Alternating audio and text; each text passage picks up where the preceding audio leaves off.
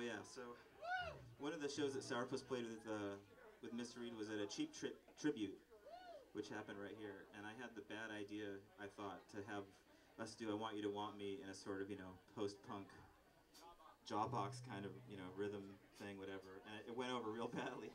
But again, uh, Ray was very uh, you know very nice, and uh, what did he say after we were done? He said it was really new wave. Yeah. So, so we're gonna do more new wave stuff for you now.